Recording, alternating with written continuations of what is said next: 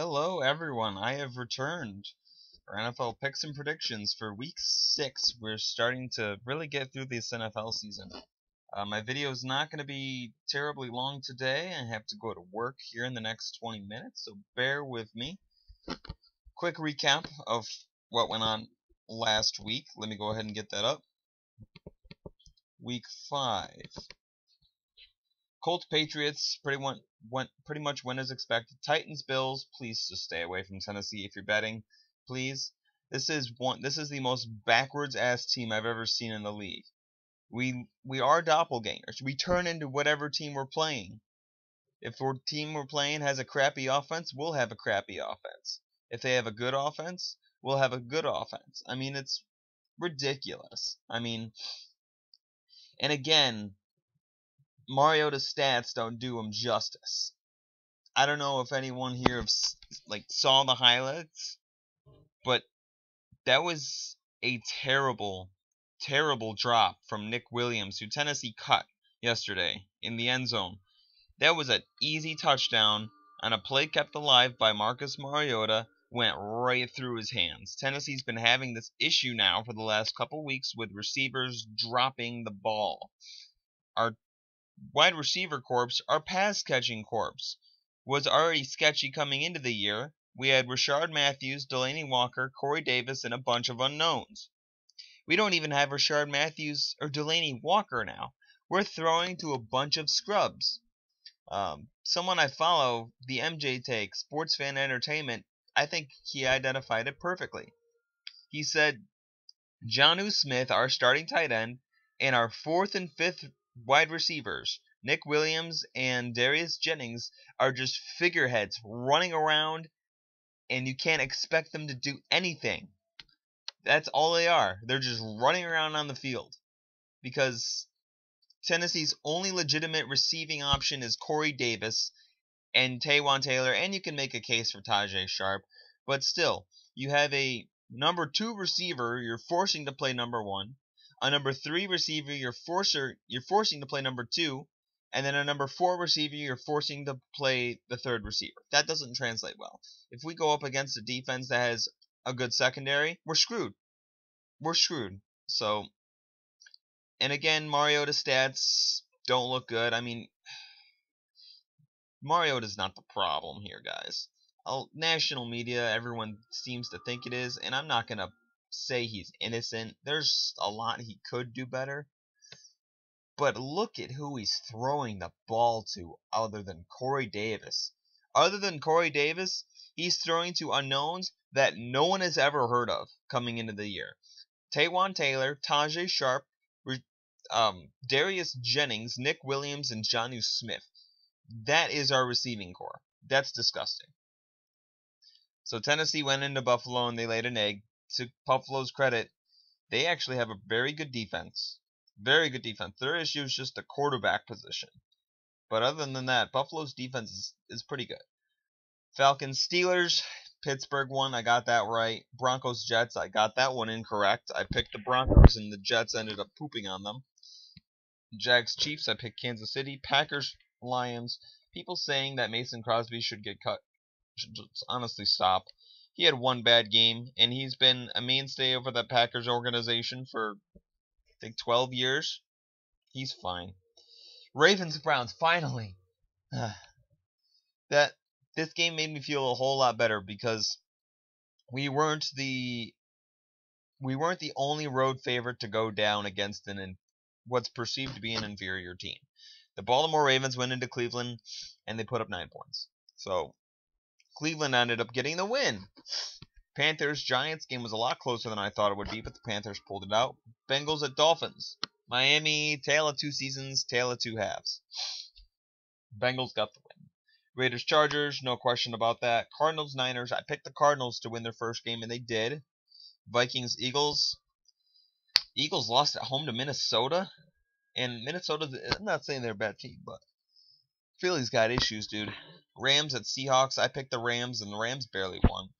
Texans Cowboys. I got that right, and Redskins Saints. I got that right. Now we go to Week Six.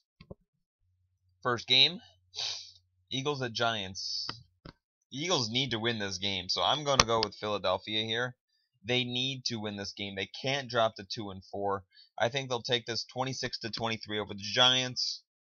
Next game we have the Buccaneers at the Falcons. Give me Atlanta here.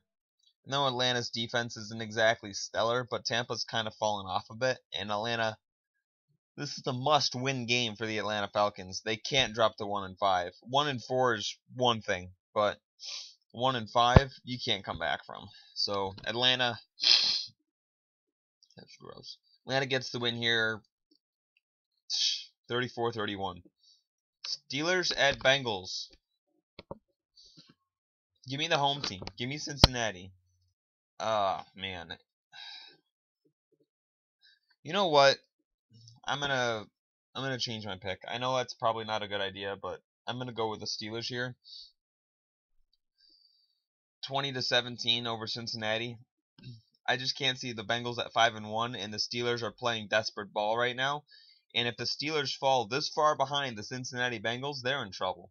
So give me the give me the Steelers here. Chargers at Browns, yeah, give me the Chargers. Um, I think Cleveland's good, but I think the Chargers are just better. Um, we'll go 23 to 21. Seahawks at Raiders. Give me Seattle. The Raiders are they're a bit of a mess right now. This game is still on the West Coast for the Seahawks, so they're not traveling too far. Mm.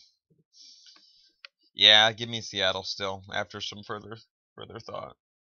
Next up, we have the Bears at the Dolphins. Oh my goodness, another away team that's going to be heavily favored. I got to go with the Bears. That's five away teams I've picked so far. Damn.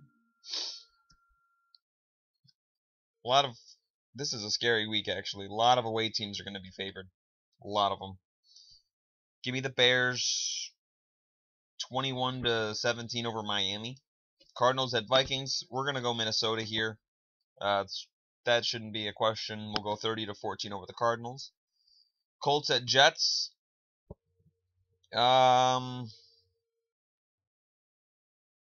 jeez, I'm looking down this list and all I see are away teams that should be favored. That's scary. That is really scary. That scares the crap out of me. Uh, give me the Jets here. I'm gonna go with the Jets 30 to 20 over the Indianapolis. The Jets are coming around a little bit, and Indianapolis isn't exactly competent outside of Andrew Luck. Panthers at Redskins. The Redskins are really inconsistent, so go ahead and pick Washington in this game. I don't know what their deal is, but I'm gonna go with this as your upset pick of the week because I don't see Carolina going to four and one especially with the way they escaped last week. And Washington, they're really inconsistent. The Redskins are. It it should drive the Redskins fan crazy. We'll go 24 to 17 over Carolina. Bills at Texans. Give me Houston for their third win in a row to get to three and three. The Texans should win this game 27 to 14 over Buffalo. Rams at Broncos. Gotta go with the Rams here. Um, good team. Very good team. They should get to 6 to 0. Uh, 31 to 21 over Denver. Jaguars at Cowboys.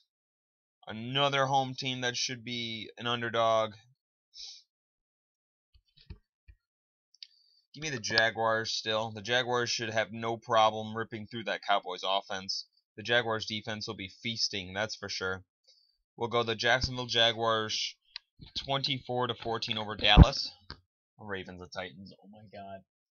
Um great. Who's favored? Because anytime you're playing Tennessee, the favored team should be nervous. Tennessee's at home. You heard me say that home record that they had 12 and 2 in their last 14 home games. One of those wins did come against Baltimore last year.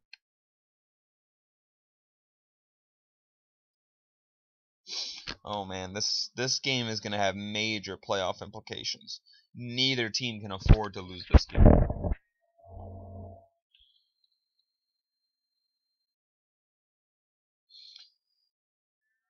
Dang it. Give me the Baltimore Ravens.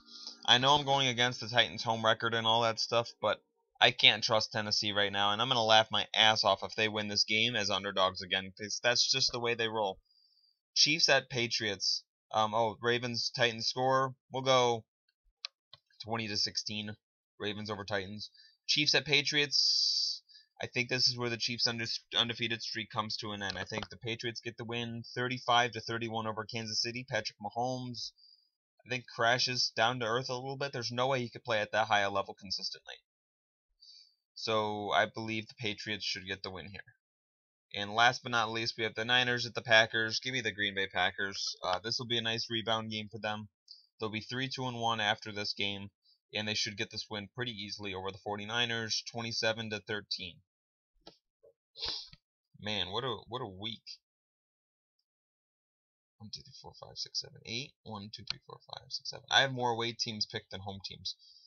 That concerns me a lot. But I'm going to stick with what I got. Those are my picks and predictions. Thank you for watching. Please subscribe to my channel. And I'll see you guys next time. Sorry for the short vid.